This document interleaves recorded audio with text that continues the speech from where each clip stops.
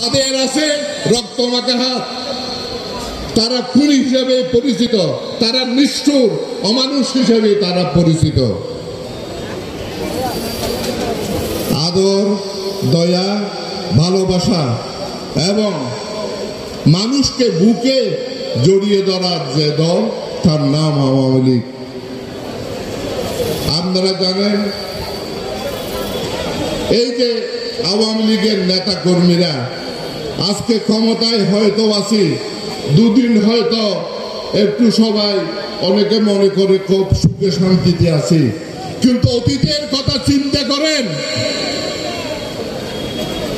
বারো বছর, তেরো বছর আগের কথা পঁচাত্তরের পরবর্তী থেকে বারো, তেরো বছরের আগের কথা।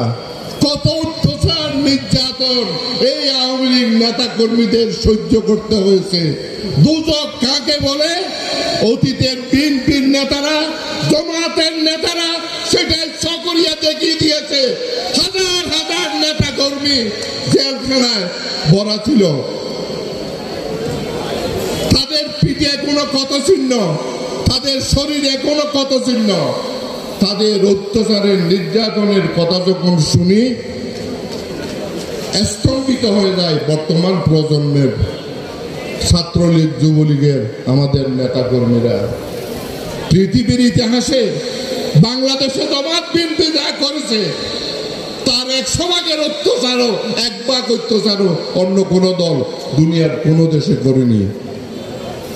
তাদের নেতৃত্ব দিচ্ছে বিএনপি। এখন আবার কিছু লোক বিএনপি বিএনপি বলে মাঠে নেমে অরাজকতা সৃষ্টি করতে চায়। সংখ্যায় কতজন হবে? কয় থাকবে?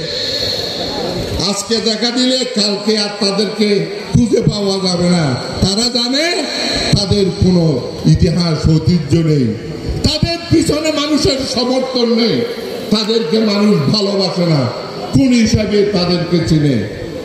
কাজে এই কথাগুলো মনে রেখে আমাদের আওয়ামী লীগ করতে হবে। আমি এই কথাগুলো একসাথে এই জন্য বললাম, আওয়ামী লীগ যারা করে, তারা অহংকার করার মতো, গৌরব করার মতো, গর্ব করার মতো তাদের অবস্থান। আর অন্য দল যারা করে, ঘৃণা, বিদ্বেষ ছড়ানোর মতো অবস্থা এবং জঘন্য একটি তাদের অবস্থা। এখন, আমরা যারা আওয়ামী লীগ আছি, আমরা কি বর্তমান অবস্থায় থাকলে অথবা আমরা যদি আগামী নির্বাচন আসবে, তখন কি করতে হবে? এই অবস্থা যদি থাকতে চাই, এ অবস্থা যদি আমরা পথ চলতে চাই এই সম্মান যদি আমরা পেতে চাই, দেশবাসীকে যদি আমরা ভালোবাসতে চাই, কিছু দিতে চাই, তাদের জন্য কাজ করতে চাই, তাহলে কি করতে হবে? আওয়ামী লীগকে আরও বার ক্ষমতায় আনতে হবে, বারবার ক্ষমতায় আনতে হবে। প্রধানমন্ত্রী জননেত্রীকে আরও অনেক দেব আমার পরামর্শ এমন হবে, যেই পরামর্শ দলকে শক্তিশালী করবে, দলকে ঐক্যবদ্ধ করবে এবং দলকে আগামী যে কোনো সংকটে আমরা যেন অপশক্তির মোকাবেলা করতে পারি।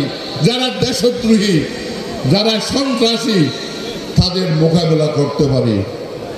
আপনাদের চকরিয়া উপজেলা আওয়ামী লীগের মূল নেতারা সেই কাজটি করতেছেন কি? দলকে শক্তিশালী করা। এখানে অপশক্তি মাঠে নামতে পারে না। এইটা আপনাদের একটা প্লাস পয়েন্ট এইটা আপনাদের একটা ভালো পয়েন্ট সেই অপশক্তি মাঠে যদি একবার নামে, তারা লাই পেয়ে যাবে। এই এই ধারা অব্যাহত থাকলে ভালো। এই দ্বারা অব্যাহত থাকতে থাকতে পারলে ভালো, রাখতে পারলে ভালো। আমি সর্বশেষে শুধু আরেকটি অনুরোধ করব। মাননীয় প্রধানমন্ত্রী জননেত্রী শেখ হাসিনা ক্ষমতায় আছেন বলে তিনি দিন রাত মানুষের জন্য, দেশের জন্য কষ্ট করতেছেন বলে দেশ ভালো আছে, জনগণ ভালো আছে, কৃষক শ্রমিক ভালো আছে, আমার মা বোনেরা ভালো আছে, শিক্ষক ভালো আছে, পেশাজীবীরা ভালো আছে, সুদীজনেরা ভালো আছে, এদেশের খেটে খাওয়া মানুষ ভালো আছে। কারণ আওয়ামী লীগ স্বাধীনতা এনেছে। রক্ত দিয়েই আমরা দেশ স্বাধীন করেছি। আমাদের রক্তই মাটিতে আছে বিদায় মাটির প্রতি আমাদের দয়া মায়া আছে। মানুষের প্রতি আমাদের দয়া মায়া আছে। অন্য কোন দলের সেই দয়া মায়া নেই। যেহেতু এই মাটির জন্য, স্বাধীনতার জন্য তারা রক্ত দেয় নাই। মাননীয় প্রধানমন্ত্রীকে ক্ষমতায় আনতে হলে, আবার ক্ষমতায় রাখতে হলে তার কথা মতো নির্দেশ মোতাবেক চলতে হবে। নেত্রী যা বলেন, সেটাই আমাদের কর্মসূচি। নেত্রী যে দিক নির্দেশনা দেন, সেটাই আমাদের কাজ। এর বাইরে কাজ করা আমাদের ঠিক হবে না। সেইভাবে যদি পথরা আওয়ামী লীগ ক্ষমতায় যাব, আবার আমরা মাননীয় প্রধানমন্ত্রীকে প্রধানমন্ত্রী রূপে ইনশাল্লাহ দেখতে পাবো। আল্লাহ আমাদের সহায় হন, আল্লাহ আমাদেরকে রহমত বর্ষণ করুন। আমাদের ভাইদের কাছে, আমাদের ছেলেদের কাছে, মা বোনদের কাছে আমার শুধু আবেদন থাকবে, আপনারা মাননীয় প্রধানমন্ত্রীর জননেত্রীর জন্য আল্লাহর কাছে মনোজাত করুন, আল্লাহর কাছে রহমত কামনা করুন, যেন আল্লাহ তাকে সুস্থ শরীরে রাখে এবং দীর্ঘায়ু দান করে, দীর্ঘায়ু পেয়ে তিনি যেন বাংলাদেশের মানুষের